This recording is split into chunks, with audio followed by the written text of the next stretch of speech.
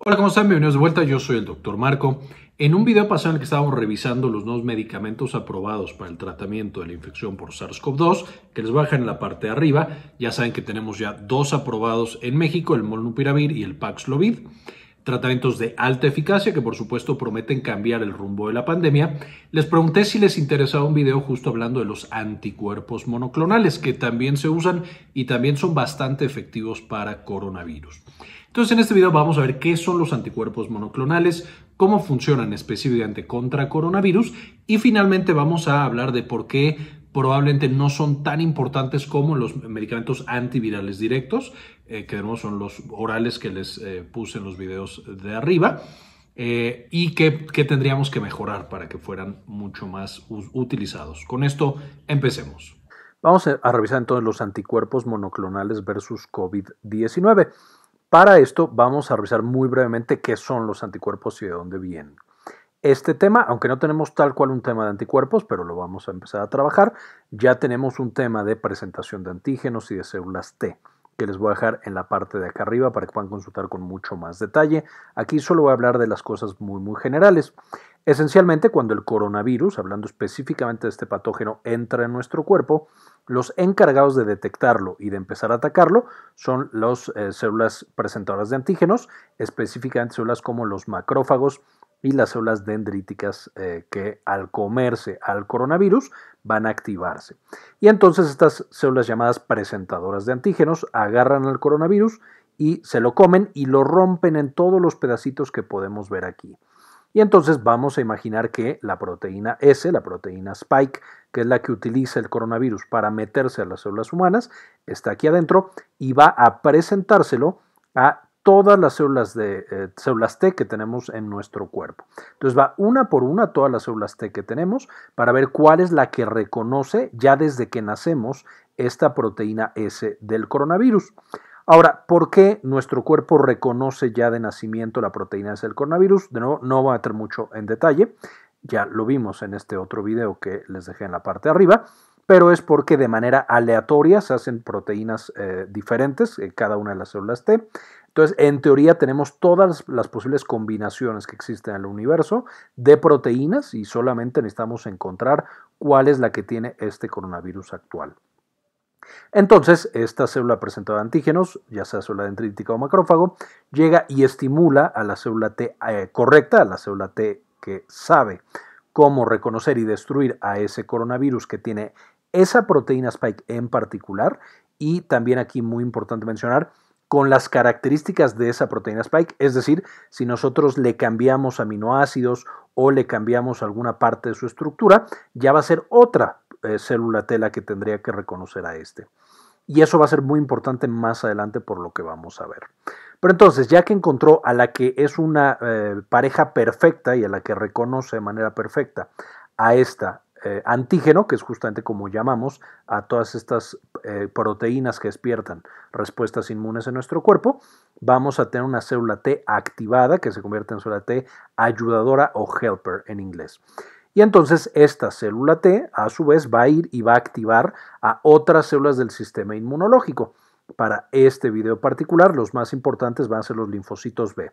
Entonces, nuestro linfocito T que ya está activado, que ya dijo, yo reconozco esa proteína spike y sé cómo destruirla, se activa y entonces va ahora con esa misma estructura, no, no se lleva el cachito, pero dice, hey, necesitamos hacer proteínas y unas proteínas muy especiales llamadas anticuerpos que se peguen perfectamente y destruyan justamente a esa proteína S o proteína spike del coronavirus. Y entonces ya tenemos que estas células B se activan y empiezan a producir anticuerpos. Esa es la proteína súper especial que van a generar las células B. Y estos anticuerpos tienen estructuras o tienen muchas partes importantes. Van a ser básicamente como una Y. Esta Y está pegada por un puente disulfuro. En la puntita, justamente en la puntita del tenedor, es donde va a embonar perfectamente este antígeno, que es la famosa proteína S del coronavirus. Podría ser cualquier proteína del coronavirus, pero estoy enfocando en la S, ahorita van a ver por qué. Y la parte de abajo, donde se agarra el tenedor, básicamente, es la que interactúa con las células del sistema inmune de nuestro cuerpo. Entonces, eh, cada vez que se pega a una de estas eh, proteínas del coronavirus, aquí lo podemos ver, ya mi célula B, que ahora cuando produce anticuerpos se llama célula plasmática, va a producir una gran cantidad de estos, va a liberarlos en la sangre y entonces nuestro cuerpo se llena de anticuerpos. Y los anticuerpos, los que más nos interesan, hay muchos tipos, pero son neutralizantes. Entonces aquí tenemos el tenedor, va a pegársele justamente a la proteína, por ejemplo, S del coronavirus, la proteína Spike. Entonces, mientras el tenedor lo está pinchando, el mango del tenedor, que sería esta parte de abajo, se va a pegar con nuestras células del sistema inmunológico y va a decir, hey, aquí tengo un coronavirus, cómetelo, y entonces se comen mucho más rápido a los coronavirus. O también hay otros mecanismos, pueden activar a las, a las proteínas del complemento, que también ya revisamos en un video anterior y les dejo el enlace acá en la parte de arriba, o directamente puede hacer que el coronavirus, aunque no lo destruyamos por el complemento o no los comamos con nuestras células macrófagos o células dendríticas, eh, que no puede entrar en las células humanas porque tiene esta gran proteína pegada, entonces ya se vuelve demasiado grande para poder entrar en nuestras células. Ahora con todo esto, ya sabemos que es un anticuerpo, ese tenedor que va a producir nuestras células B, que es un anticuerpo monoclonal. Básicamente, si nosotros ya sabemos que hay una proteína que podemos bloquear, en este caso hablando del coronavirus, para evitar la infección, entonces podemos buscar estas mismas proteínas B, o más bien estas mismas células B, en ratones, en algún otro roedor o incluso algunos humanos, y vamos a pegarlos con células inmortales. Usualmente son células de mieloma. Y entonces se hace algo que se llama un hibridoma. Este hibridoma son células B inmortales que no van a morir en ningún momento mientras les demos proteínas y glucosa para que sigan viviendo, van a seguir produciendo un anticuerpo y el anticuerpo va a ser siempre idéntico, eh, porque de nuevo es lo que esta célula B está entrenada para realizar. Y entonces estos se llaman anticuerpos monoclonales, porque todos son una copia, una clona, un clon idéntico del anticuerpo original.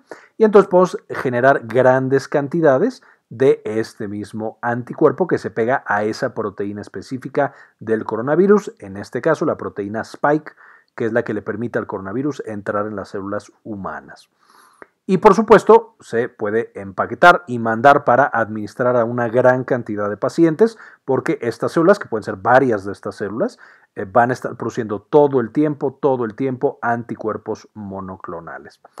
Eh, también tendremos después un video de anticuerpos monoclonales más específicos porque podemos tener algunos que son humanizados, es decir, que la gran mayoría del anticuerpo es humano, pero hay una parte que es de roedor, puede ser un porcentaje más alto de roedor o pueden ser 100% humanos. Esas son diferentes técnicas y conllevan diferentes perfiles de seguridad. De eficacia casi siempre son muy eficaces porque van a tener los anticuerpos por naturaleza una gran capacidad para pegarse a lo que sea que los hayamos diseñado y de esa manera pueden o destruirlo o aglomerarlo o hacer algo más con ese anticuerpo o con ese antígeno particular. Ahora, ya que vimos esto, un breve recordatorio de lo que pasa con la infección con SARS-CoV-2. Esencialmente, cuando nosotros contraemos el virus, vamos a tener una etapa en la cual tenemos una fuerte eh, primero, replicación viral, entonces hay un chorro de virus en nuestro cuerpo.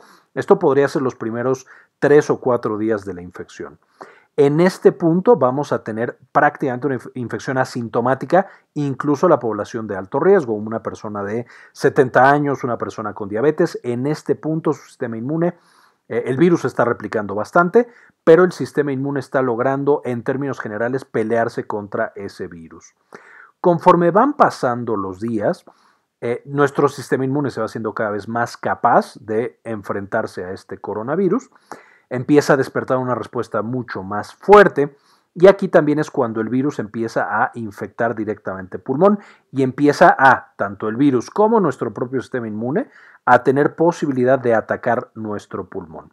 En términos generales, especialmente para las variantes anteriores, alfa, beta, delta, este era el momento en el que empezaban los síntomas de coronavirus y teníamos ya la fiebre, el malestar general, eh, por supuesto la fatiga, el dolor muscular, etcétera, etcétera. Entonces podemos ver que para cuando ya tenemos síntomas, usualmente ya estamos más o menos controlando la respuesta viral.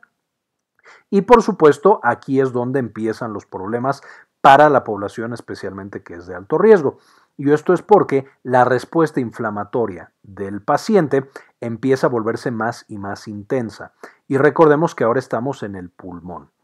Entonces, no solamente vamos a estar con esta respuesta inflamatoria destruyendo al virus, sino que también vamos a estar lastimando al pulmón con la inflamación. Finalmente, vamos a tener un periodo en el cual los pacientes pueden disminuir la cantidad de inflamación, eso es lo que debería pasar en la mayoría de las personas y pasa en la, mayoría de las personas sanas. Y entonces, conforme hay menos virus, baja la inflamación y el paciente se recupera de la infección por SARS-CoV-2 con no muchas secuelas porque paró, o sea, cuando disminuyó el virus, disminuyó la inflamación. En los pacientes de alto riesgo, eso no pasa empieza a incrementarse la respuesta inmune hasta que tenemos una respuesta hiperinflamatoria. De nuevo, lo hemos platicado en muchos videos, muy similar al proceso de sepsis, que les voy a dejar en la parte de arriba para que puedan checar qué pasa con la sepsis. Y aquí es donde tenemos los pacientes que ya el virus puede ni siquiera estar en el cuerpo del paciente, pero esa respuesta inmune tan intensa va a estar todavía dándonos en la torre al pulmón y al cuerpo. Aquí es donde aparece, por supuesto, la neumonía, de nuevo, la sepsis o en este caso la tormenta de citocinas, que es como se le llama a la respuesta al coronavirus, la, el síndrome de dificultad respiratorio eh, y todas este tipo de manifestaciones hiperinflamatorias. Quiero repetir este último punto. En la etapa 3, eh, por llamarla de alguna manera, de la enfermedad por SARS-CoV-2, ya no hay virus en el cuerpo y es el sistema inmune que está hiperactivo el que está destruyendo básicamente los tejidos. Y de pronto uno podría pensar, bueno, pues apaguemos el sistema inmune. Es buena idea y de hecho es lo que se hace en los pacientes graves. Por eso tenemos eh, desde la dexametasona, el baricitinib, que apagan el sistema inmune y lo que queremos hacer es justo evitar esta respuesta hiperinflamatoria. Y veremos más adelante, tenemos un anticuerpo monoclonal que también trabaja sobre esta fase específica, que es el tocilizumab. Entonces, el único problema es si nos pasamos en apagar la respuesta inflamatoria, eso nos puede llevar a que ahora contagiemos, o más bien no contagiemos, sino que el paciente tiene tan apagado el sistema inmune que adquiere otra infección. Y entonces eso puede ser devastador porque si por sí ya venía de una infección más o menos seria, el que tenga otra infección puede o matarlo ahora sí la infección y la bacteria, el hongo o el virus nuevo, o podría simplemente pasar que en respuesta a esta nueva infección tenga otra vez un pico de hiperinflamación y por supuesto el paciente, si ya estaba grave, esté mucho, mucho peor y probablemente fallezca. Entonces, de nuevo, aunque sí se hace, eso de apagar el sistema inmune es una estrategia un poquito riesgosa. Finalmente, ¿cuál es la estrategia que utiliza el coronavirus para las primeras fases, donde todavía la presencia del virus es muy importante? Ya quedamos que la proteína S, la proteína spike, se pega a nuestra enzima convertidora de angiotensina y eso le permite entrar en las células humanas. Todo el resto del proceso no me voy a meter, ya lo vimos en los videos que les compartí previamente de los antivirales directos.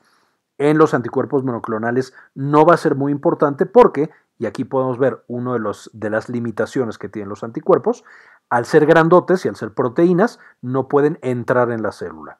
Una vez que el coronavirus está adentro, el anticuerpo monoclonal no puede meterse en la célula, ya el virus puede hacer su proceso de manera natural. El anticuerpo podría prevenir que se liberen nuevos coronavirus, pero si la replicación es demasiado intensa, ahí tampoco ya vamos a lograrlo. Entonces, cómo funcionan los anticuerpos en general que producimos de manera natural y los anticuerpos monoclonales básicamente se pegan pues a la proteína que más conocemos está implicada en la infección por SARS-CoV-2, que es la proteína S o proteína spike. Cuando nosotros lo tenemos presente, al pegarse a la proteína S, directamente destruimos el virus bastante rápido e incluso si no logramos destruirlo, simplemente no se puede meter en la célula y entonces no tenemos todo el proceso de replicación. Entonces evitamos por completo la infección. Pero nótese que, una vez más, va a ser mucho más efectiva esta estrategia de bloquear la proteína S cuando logramos que el anticuerpo monoclonal esté o cuando el coronavirus es poquito o incluso antes de que entre en las células de nuestro pulmón y en las células de nuestro cuerpo.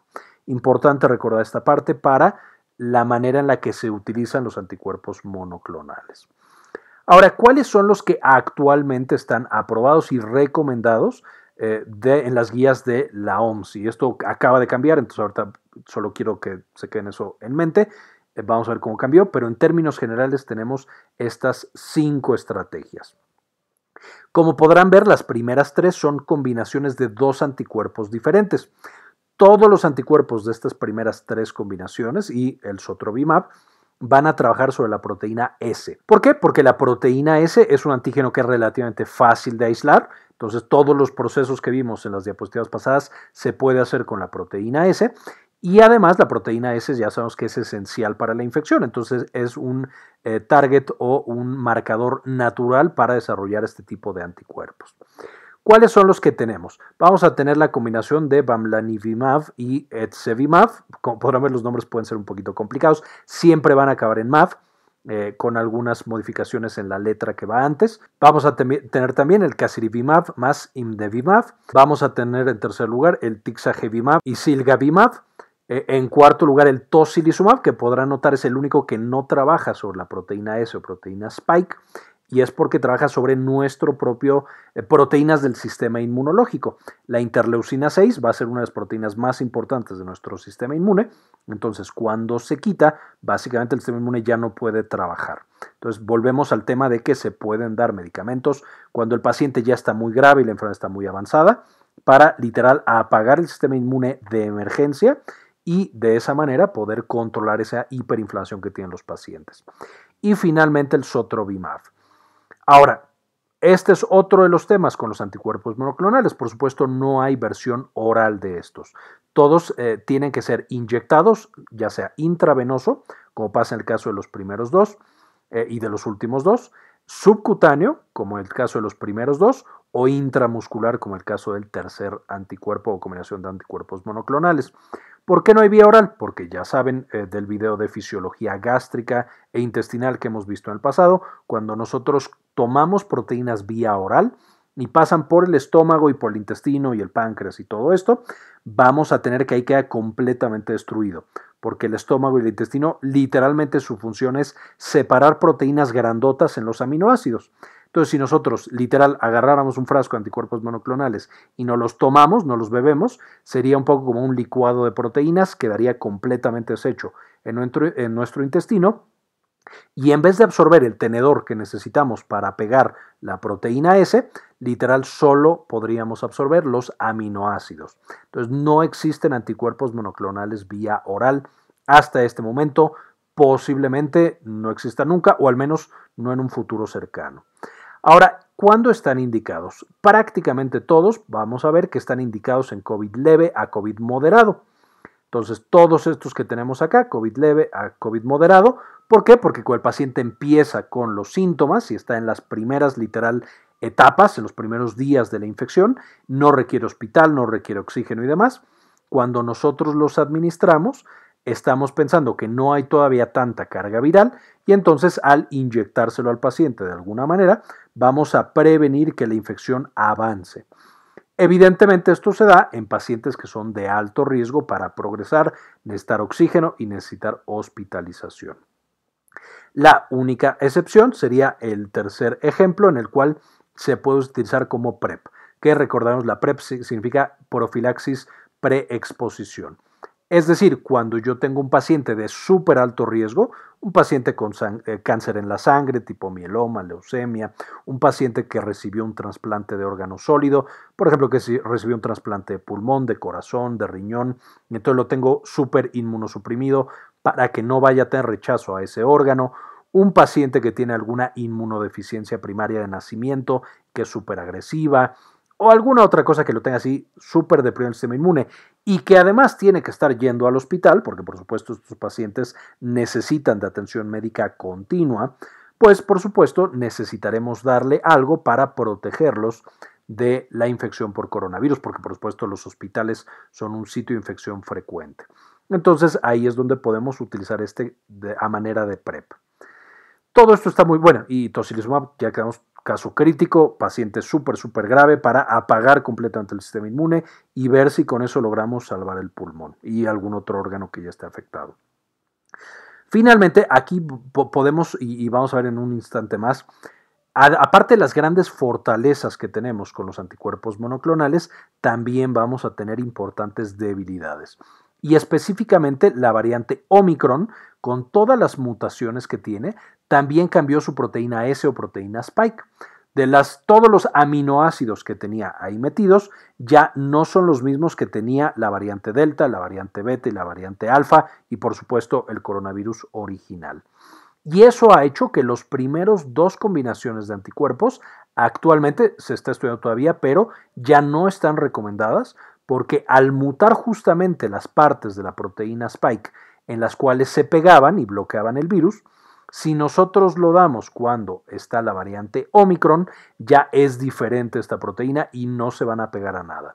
Entonces han perdido la eficacia en los sitios en los que la variante Omicron es la variante predominante y por lo tanto en las guías de la OMS ya no se recomienda la utilización de estos dos, de nuevo donde es predominante la variante Omicron, que son muchísimos países, pero no necesariamente son todos en este momento.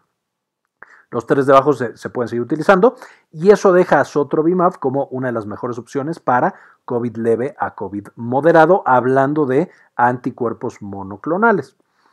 Finalmente, ¿cuáles son algunas ventajas y desventajas de los anticuerpos monoclonales? Y aquí podríamos hablar de usados en cualquier tipo de terapia, pero hablando específicamente de la terapia contra coronavirus vamos a tener que las ventajas son medicamentos bastante buenos, es decir, eh, cuando tú los administras pueden reducir, por ejemplo, en estos pacientes de muy alto riesgo, la eh, tasa de o el riesgo de hospitalización y muerte entre un 80 y un 90%, es decir, son bastante, bastante buenos y aparte son bastante seguros. Como solamente se van a pegar a las proteínas del coronavirus, no se pegan a ninguna proteína del cuerpo humano, tienen muy, muy pocos eventos adversos.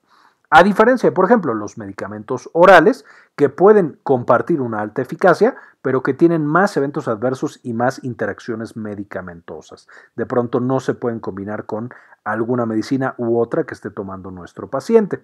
Entonces, son buenos medicamentos en términos generales por estas razones.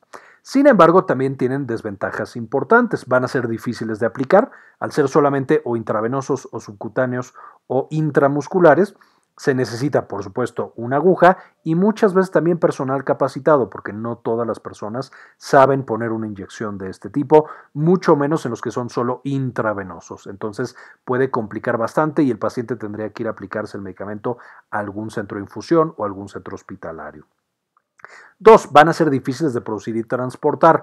Como necesitamos células vivas para estarlos produciendo, donde sea que se vayan a producir, se tiene que llevar una célula que esté produciendo este tipo de anticuerpos.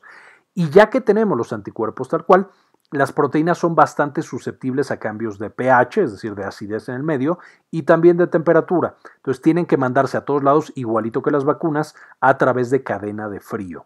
Si de pronto se calienta el anticuerpo monoclonal, puede hacer que la proteína cambie de forma. Ese tenedor ya no es un tenedor, sino que ahora es, voy a inventar una T, en vez de una Y es una T ya no sirve entonces ese anticuerpo monoclonal y hay que literal tirar todo el anticuerpo o todos los viales que se hayan calentado. Entonces, una cadena frío puede ser cara, puede ser difícil de transportar, puede tener sus problemas importantes.